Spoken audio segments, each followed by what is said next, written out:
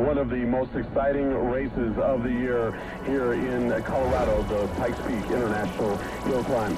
Time for another break when we come back. For 23 years, teams and drivers have been putting forward their best effort to break 10 minutes. He's getting ready to come up to the starting line for his historic run to try and break that 10-minute barrier.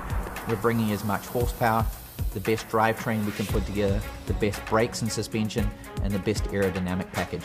We're going for the overall win. It's something I've wanted for 10 years. Right, we are waiting for Rhys Millen's Hyundai. Right now, we are just there. Up here, the crew is just making their final check.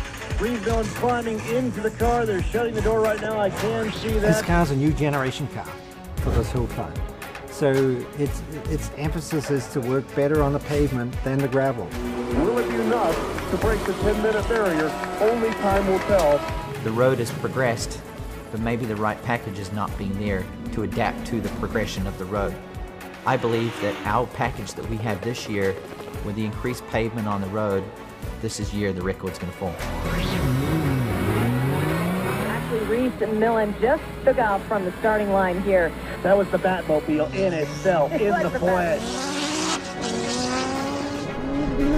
And look at the speed on that car. Unbelievable. You know, I've done many races um, throughout the world. You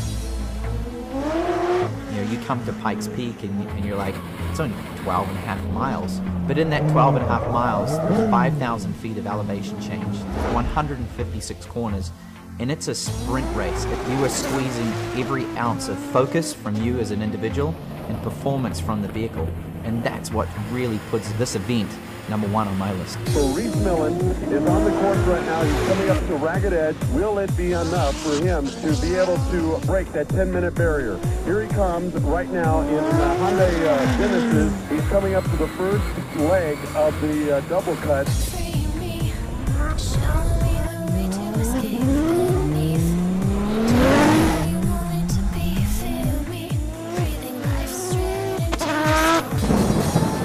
As he's coming up to 16 miles, we're beginning to see some rain, some moisture starting to uh, hit this race course. You know, keep in mind that the weather conditions, the road conditions dictate how fast you're going to go on race day.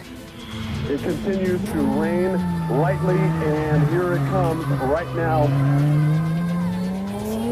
Maurice Millen just made it past the snowy finish line. Now, as of today, as of right now, that 10-minute barrier has not been broken. As you can see, is where they're moving and how it just hailed on me coming up the hill. And I've always said, number one, you got to race this mountain before you race your competition. And this is a race like no other. We had a solid run as far as the engine was concerned, and that was number one this year. The chassis was new. We knew we were behind on the setup. We had some shifting issues off the start line that compiled to me being a little frustrated, spinning, and then we lost the brakes in the W. So we just kind of crept up to the end.